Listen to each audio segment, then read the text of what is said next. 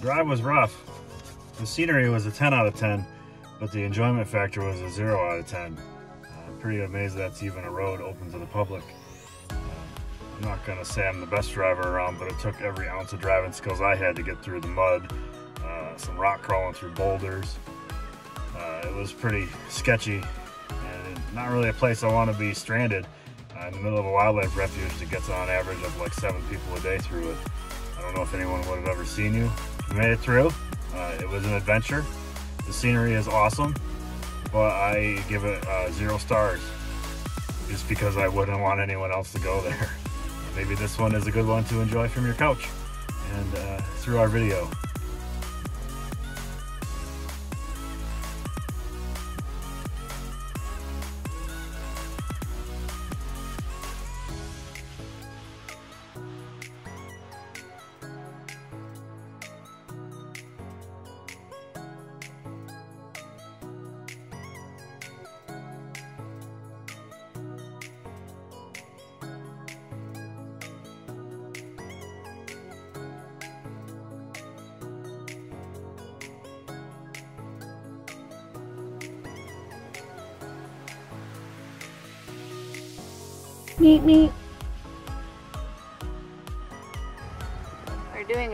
Drive today. So we're headed into Cabeza Prieta and we're going basically all the way down here. Imagine the border. And then we're gonna follow a road along the border. And check that out. That's part of this uh, National Wildlife Refuge stumbled upon a border patrol station. It's kind of interesting.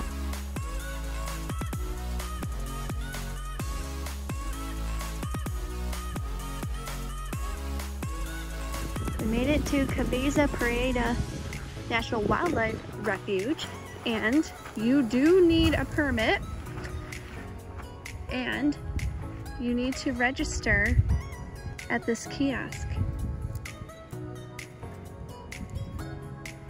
This wildlife refuge gets a very small amount of visitors a year. 2,500 visitors a year.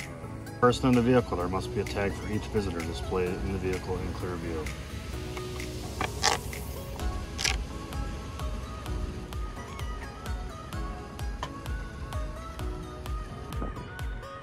This map shows where we came from. So we actually started in Ajo at the grocery store and we kind of snaked our way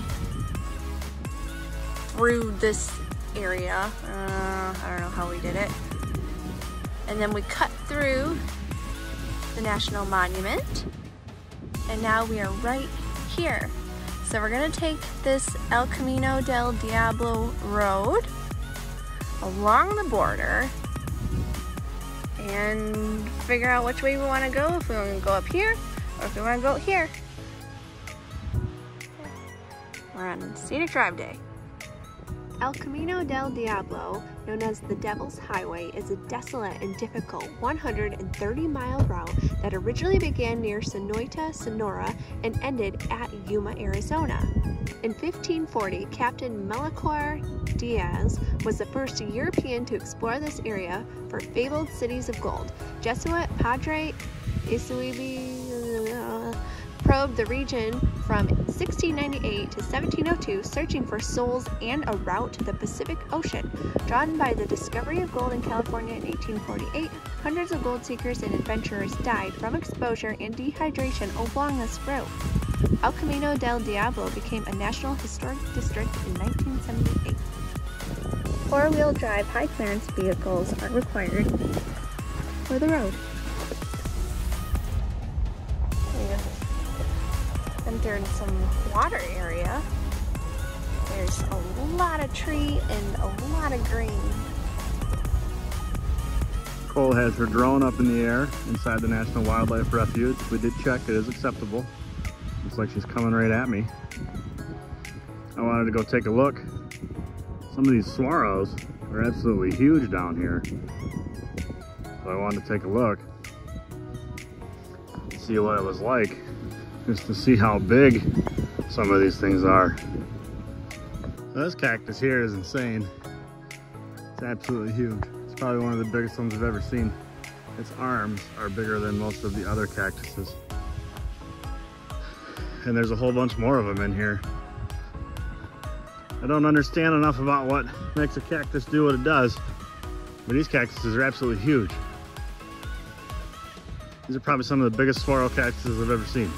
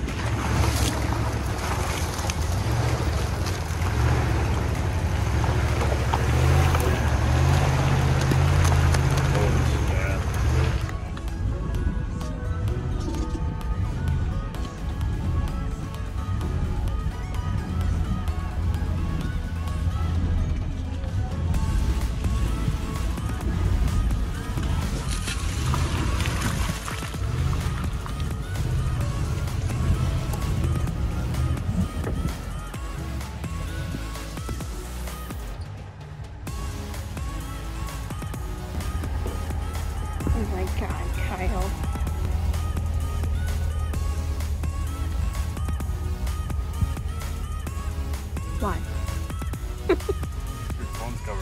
phone is covered in mud. My hand is covered in mud.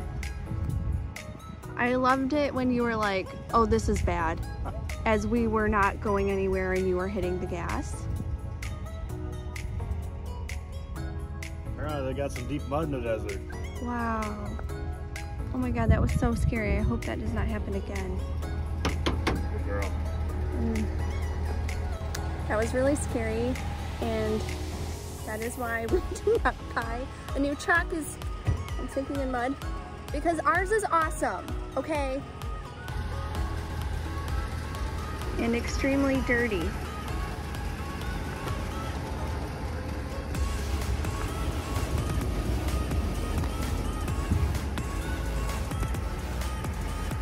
I feel like my side got dirtier than Kyle's. So I just did my video when we want, thought that we were done with the mud and we went a little further and we sunk like probably a good eight inches in the mud.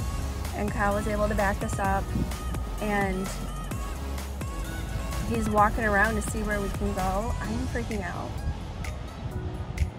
I'm just sitting here because I'm freaking out because we're in the middle of nowhere on a scenic drive that gets less than seven visitors a day, and there's nobody around. I at least have two bars of Mexican Telcel because the border is a mile to my left. And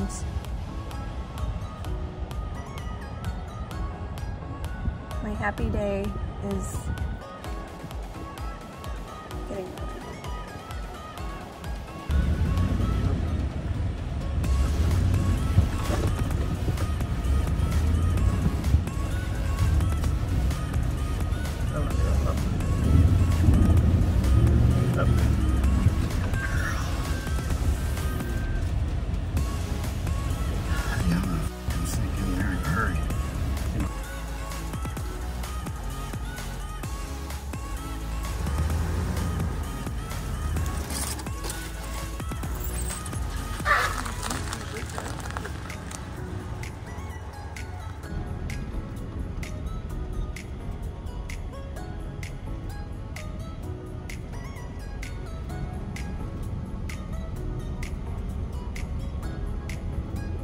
see somebody did exactly the same.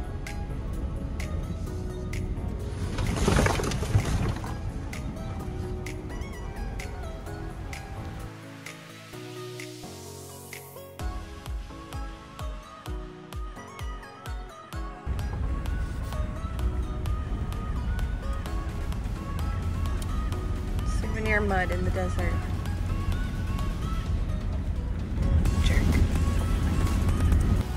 We made it to safety. I'm a bit over this drive now, and I think we still have a long way to go.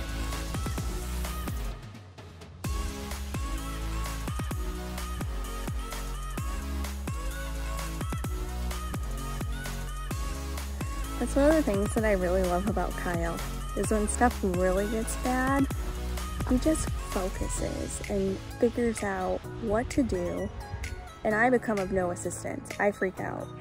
I took an anxiety pill and I just sat there.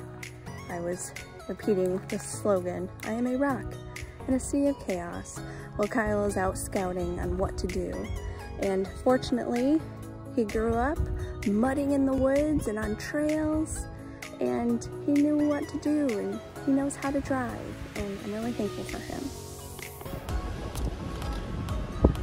Garmin, why?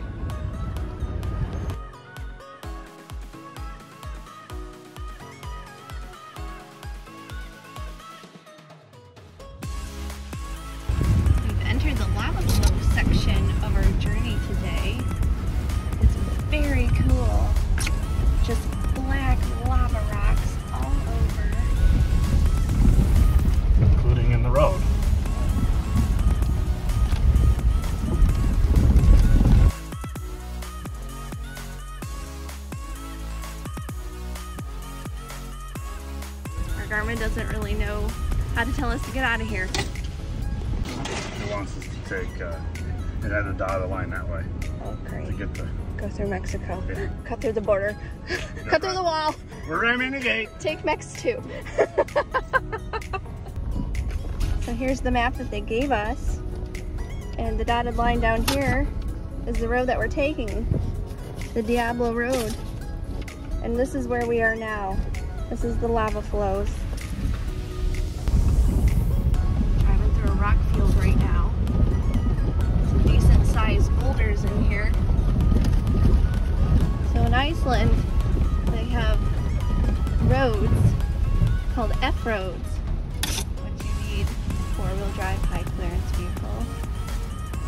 Crazy roads are. Where all the river crossings are. Mm-hmm. And I think we found one in the United States. And I think they call them F roads for why the F are you on this road?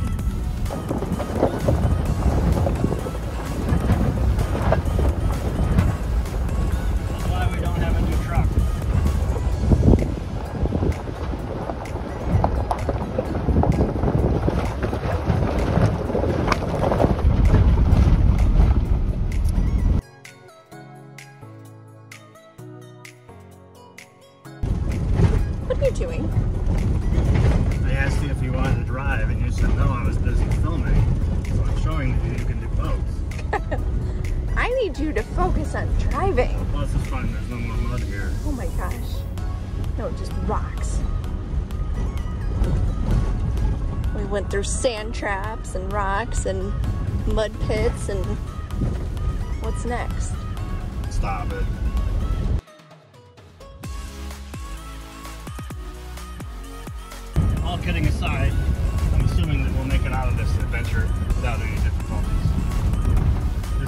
Absolutely beautiful here.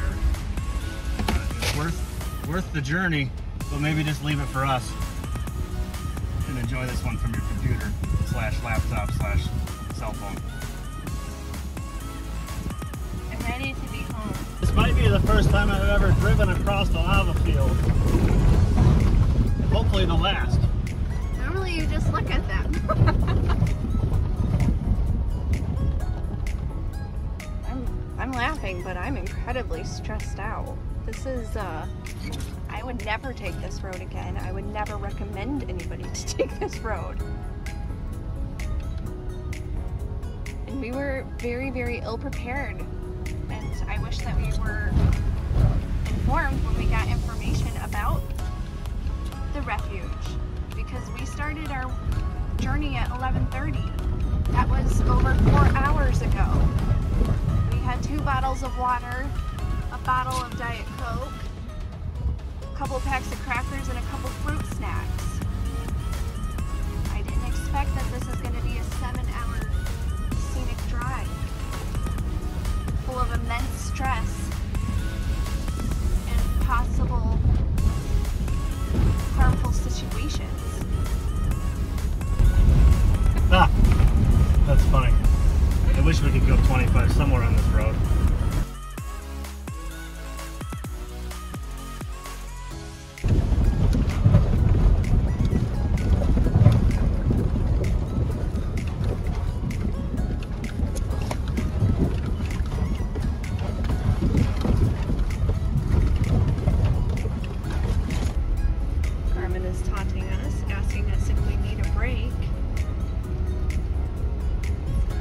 But it doesn't know where any of the places are for me to get a break. So not very kind. Yes, we need a break.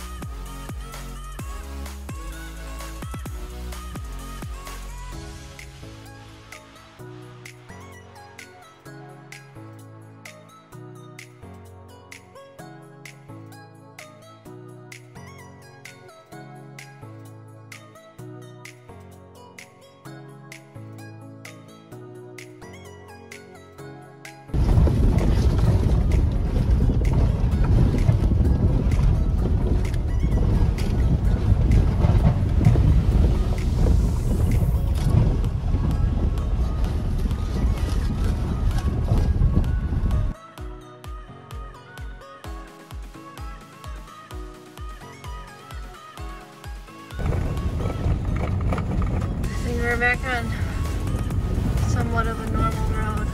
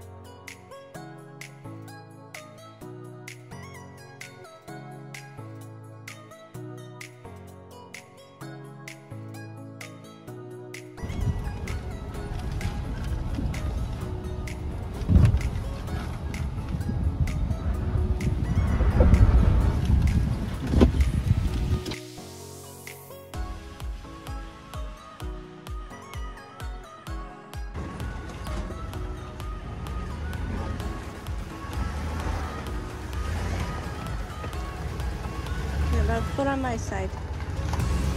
You're going on my side. You're going on my side.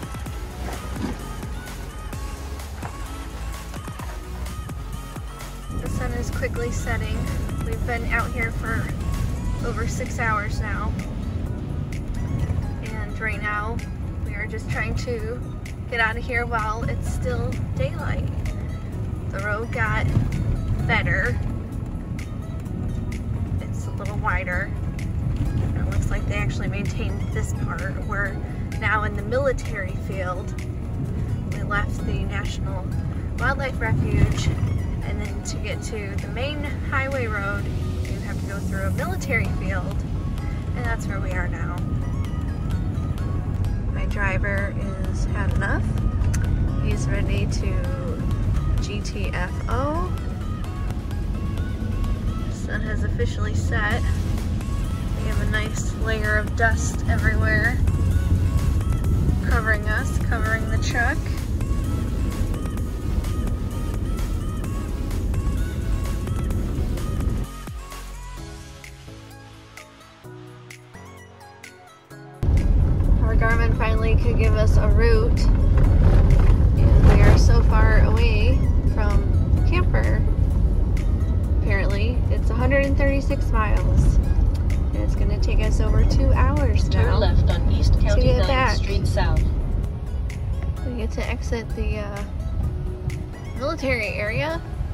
Onto the highway. Ah, pavement. Watch, watch for So- traffic now. So illegal. Oh my goodness. There's a new one. Oh my god. There's a lot of cars.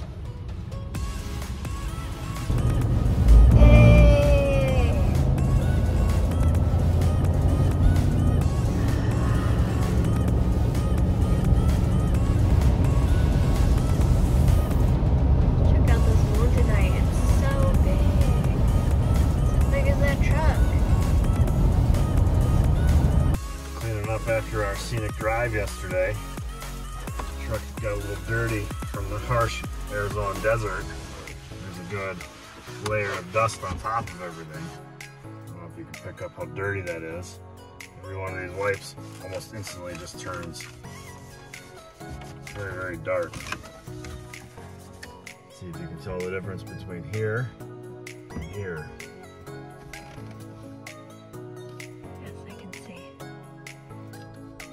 Pretty much any surface in our truck is completely covered in sand. We had the windows open because I would have wanted the windows down anyway. It was just kind of one of those nice things. But also our air conditioning doesn't work. So thanks, Beanie. The pal went and washed the car, and uh, we have a lot of Arizona pinstriping from the drive. I'm not sure if these will come out with a coat of wax, but I mean, they're all up and down the truck. So we googled the drive afterwards and found a couple blogs where people had had done the drive and made their recommendations like uh, take lots of food and water with you get road conditions before you go.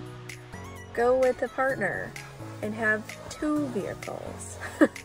uh, check in at the Border Patrol to let them know that you're out there. Lots of things. They didn't seem to have the mud that we had, so I don't know if it's just maybe not like that all the time, but still going through all the lava fields and climbing over the boulders and the sand pits and and a lot of it was just driving down a wash for like 15 miles was just driving through a wash that was sand and there were a couple times where we stopped and it was actually challenging to get back going again because the tires just want to spin. And so there were a few times where we thought we were actually stuck but our truck did awesome Kyle did awesome and I'm really proud of both of them getting us to safety and out to civilization again.